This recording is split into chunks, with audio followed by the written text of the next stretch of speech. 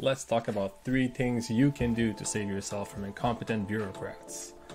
One, figure out what you want to do, what you would like to work. Go to these places, let them know that you want to be trained as an employee free of charge, no paperwork, nothing, whenever they're training a new hire. This way, you'll learn actual skills, build relationships with the people and companies that you want to work for. You're going to display passion that maybe certain employees might not even show. If you need to, you know, get personal insurance, working for yourself means more freedom for you, more bus- more freedom for the business owner. It will actually open you doors and get you on the front of the line because people that are applying resumes to jobs, they are a legal liability to the employer, which you are not when you're an individual contractor. Two, get to know who your first responders are. I'm sure that you can talk about like the no, the, the lore and name names of like characters and places and movies and video games you know, who picks up the phone and who comes to save you when you dial 911?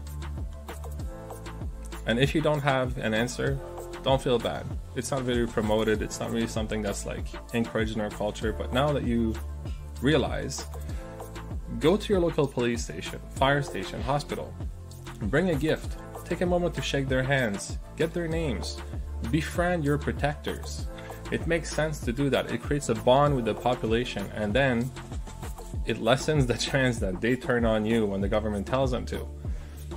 Three, turn your skills into classes.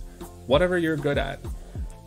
You know, whenever you do a project for yourself, even, you could be renovating, gardening, painting, whatever. Open it up to the public.